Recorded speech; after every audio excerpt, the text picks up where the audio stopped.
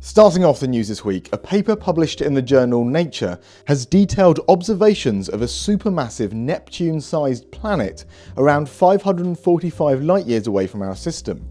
TOI 1853b orbits the K2 dwarf star TOI 1853 and, as far as we know, is the star's only planet. It's a fascinating discovery as its mass is nearly 75 times the mass of our own planet and nearly twice as much as any other Neptune sized planet yet discovered. It's such an unusual discovery that, as the paper says, it presents quite the puzzle for the more conventional and widely accepted theories of planetary formation and planetary evolution. It has been suggested that the planets could have formed through the collision of several protoplanets, but a drastic change in orbit has also been proposed. It would usually be expected that this incredibly massive planet, which has an overall density higher than steel, to be much larger and have formed into a gas giant earlier in its life. It's incredibly difficult to tell a large amount from planets at such a distance, not least about its history. It could have a complicated and violent history, or could be a key to help us to understand planetary formation and evolution in a completely different way. At the very least, it can certainly be said that this planet is an enormously important addition to our array of discovered exoplanets, all helping both fill out the universe and our understanding of it.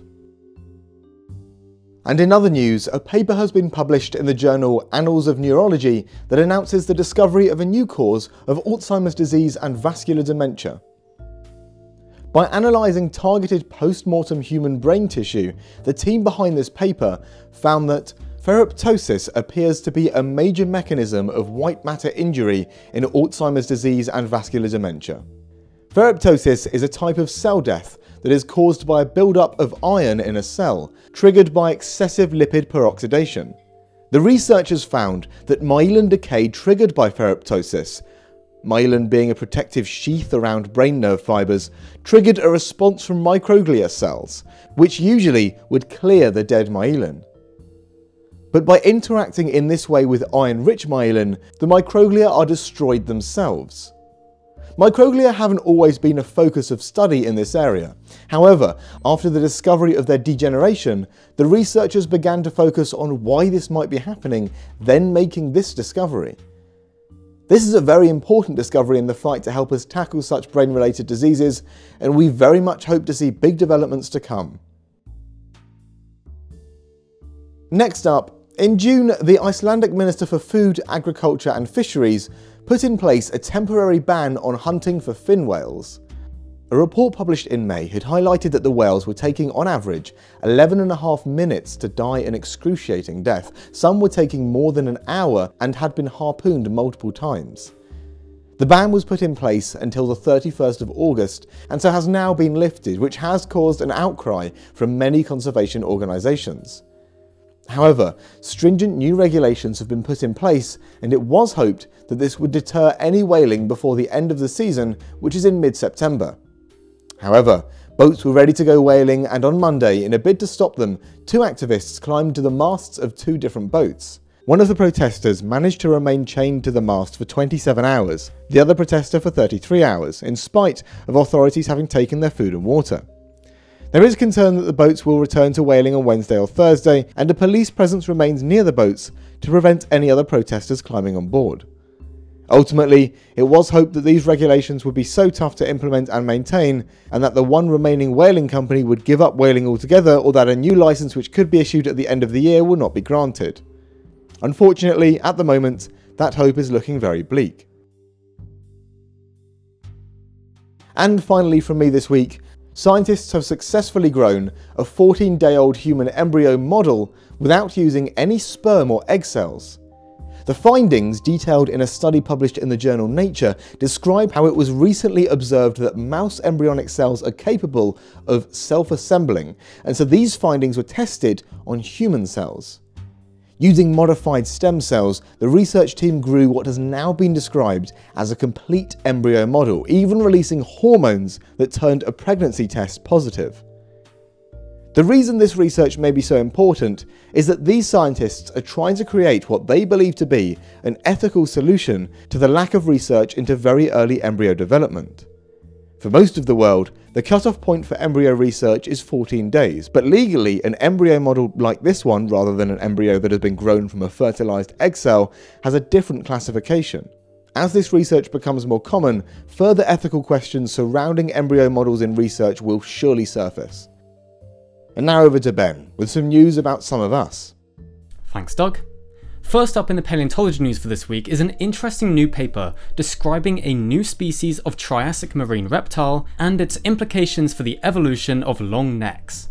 The new species has been named Chusaurus jiangensis. I apologise for the pronunciation there. And it comes from an early Triassic aged formation in South China.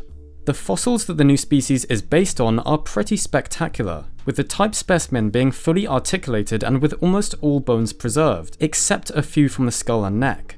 Chusaurus is a type of reptile called a Pachypleurosaurid, a branch of the sauropterygians, meaning they're related to the famous plesiosaurs and pliosaurs. Well, Chusaurus is quite interesting in that it possesses a relatively short neck, whereas later pachypleurosaurids had proportionally very long necks comprising many more individual vertebrae, reminiscent of the plesiosaurs themselves. Some of these longer-necked pachypleurosaurids lived only 5 million years after Chusaurus, indicating that the evolution of longer necks by adding more vertebrae occurred fairly rapidly in geological terms, before then slowing down again. Comparing this rate of neck elongation evolution to other groups of sauropterygians, they found that long necks evolved relatively rapidly in all lineages of sauropterygians, likely as the result of the re-establishment of various marine ecosystems, providing the opportunity for new feeding styles in the wake of the end Permian mass extinction. Also in the news is a new study that has found evidence for a massive population crash of human ancestors about 930,000 years ago, with only around 1300 individual humans surviving and breeding to eventually give rise to us today. Quite a terrifying prospect. By using the genomes of over 3,000 individual modern humans and a new kind of analysis method called FitCoal, the researchers detected a severe bottleneck in the ancestral population of all modern humans between 930,000 and 813,000 years ago, and for these 117,000 years, the population stayed very low. The start of the bottleneck apparently saw the reduction of our ancestors' population from over 98,000 individuals to fewer than 1,280 breeding individuals. And then eventually there was a rapid recovery and the population reached over 27,000 again. This is obviously a very significant discovery with many implications for the evolution of our species. And based on these results, it seems that humans very nearly went extinct at this time. The reduction is suggested by the researchers to potentially explain the scarcity of hominin fossils in Africa and Eurasia between 950 and 650,000 years ago. And although there is still much discussion about which species of Homo represents the direct Homo sapiens ancestor, this study favours Homo heidelbergensis as the ancestral species, which likely appeared in Africa by about 800,000 years ago. So this might be the species that faced the severe bottleneck or at least included the certain population of Heidelbergensis that may have eventually given rise to Homo sapiens and therefore experienced this bottleneck. Then there's also the question of the timing of the Neanderthal and Denisovan split from their common ancestor with Homo sapiens which some studies have timed to between 500 and 700,000 years ago, placing it potentially around the bottleneck. Additionally, it might also be that the fusion of two of our chromosomes occurred around the time of this bottleneck too, giving us a total of 46 instead of the 48 that modern chimps, gorillas, and older species of Homo had. So, did this restriction in population size have something to do with the splitting of our species and other hominins? Other paleoanthropologists have advised that the proposed bottleneck needs further testing and correlating with the human fossil record, and it might be that the bottleneck itself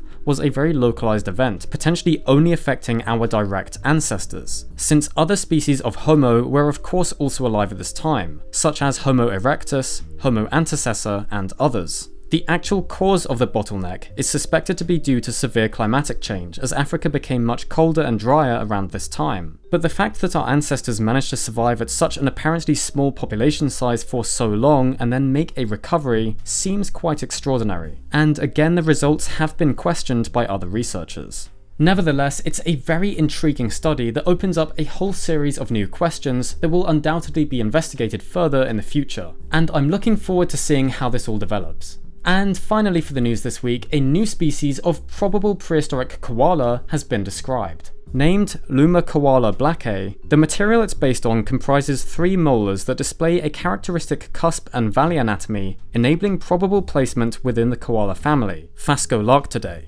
Dating to the late Oligocene epoch, over 23 million years ago, Lumakoala, along with a couple of other already named species, represent the oldest koalas so far known to us. Based on the size of the teeth, Lumakoala was likely a very small animal, with body mass estimates ranging from 2.2 to 2.6 kilograms. And the specific anatomy of the teeth allows for comparisons with other marsupials that helps to better refine our understanding of how these mammals evolved. That's it from me for this week, back to Doug in the studio.